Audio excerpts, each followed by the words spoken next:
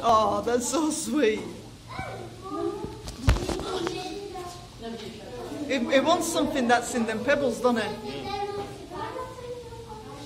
It's just releasing the bubbles, like, or is that it's breathing?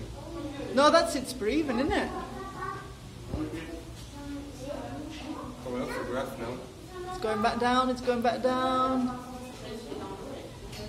On, yay!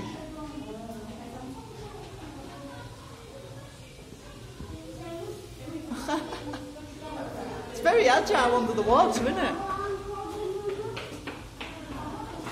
I think he's looking for insects or something. Yeah.